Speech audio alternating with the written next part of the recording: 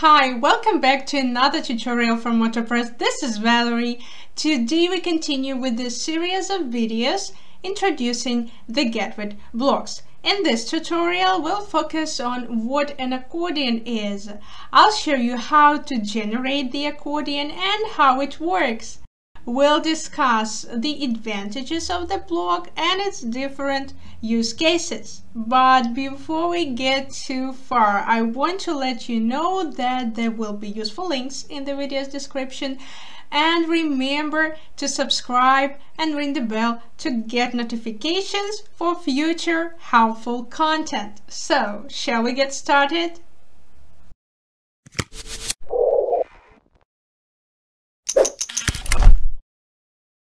It's a fact the WordPress block editor doesn't come with an accordion block by default, so you need to go with third-party plugins. Instead of standalone accordion plugins, we strongly recommend you use plugins that add multiple components to your site at once. And when we talk about Gutenberg block plugins, Getwid is without exaggeration at the top of the list. It's packed with a collection of powerful, yet lightweight, multi-purpose blocks and templates for Gutenberg Editor. It's perfect for beginners as it is incredibly easy to use, while advanced users will also enjoy using it as it offers such a plentitude of customization options. It's also free, which is a definite bonus. As usual, we start with the definition. As the name suggests, an accordion is a type of container that can show or hide content when you click it. So, the information is nested through a collapsible uh, uh drop-down. Accordions are considered one of the workhorses of web design for good reason. The accordion block improves your website user experience, especially on devices like mobiles or tablets.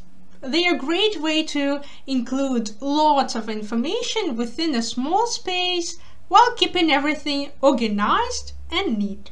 Your page looks clean, uncluttered, and easy to scan, reducing the length of your page consequently minimizes scrolling and improves your website's load speed and performance. It's a win-win, isn't it?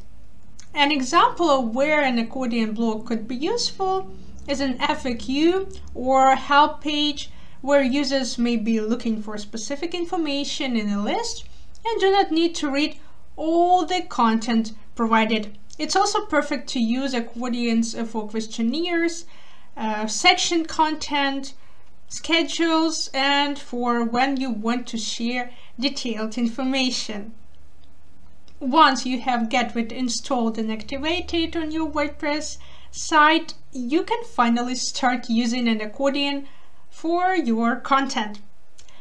For this, open or create a new page or post. From the top toolbar, click on the inserter, uh, type in accordion, and it should appear in the menu. Click the icon and it should be added to your page. Here we go.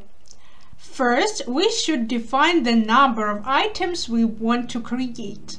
Of course, later you can add more items or delete unnecessary ones. All the blocks you insert come with their toolbar. With the toolbar of the accordion block by Getwid, you can select a wide or full width layout uh, for the entire accordion. Additional customization is available through the block settings found on the right hand sidebar. You can choose the design of the icons, specify uh, the icon position, select a heading size. If needed, choose an item which will be opened by default. Now let's concentrate on the structure of the accordion. Each accordion toggle consists of two parts the title that is always visible, and the content usually starts hidden and displayed when the toggle is expanded. That's why for each toggle uh, in the accordion group, you need to set a title and add the content that will be shown when the accordion is open. You can insert multiple Gutenberg blocks inside uh, the content area of each item. The inside of the accordion acts like a container, as I said before, so you can add not only paragraphs, but also buttons, images, videos, uh, video pop-ups, or any other blocks and place these blocks inside containers like columns or groups. Repeat this process for each block in the accordion group. Let's say uh, for the second toggle I want to add a video pop-up block uh, then I work with the settings of the block I've selected to further customize. I paste uh, a link, add a title, and then I add the button animation. Of course, uh, there are many more settings uh, for where, uh, to work with, but this is just an example. And for my third toggle, I apply a pattern. You can use not only patterns, uh, but ready-made templates or reusable blocks too. It's up to you. So, my accordion is ready. First, let's preview it on the front end to make sure everything is alright. By default, Getwid will style your accordion the way your active WordPress theme looks, including font size and colors. I think it looks great, doesn't it? So we can publish. By the way, uh, for today's video, I used the Getwid base starter theme. One more cool feature I want to mention in this tutorial is that you can transform your accordion into columns, groups, uh, toggles or tabs using uh, Gutenberg's transform option.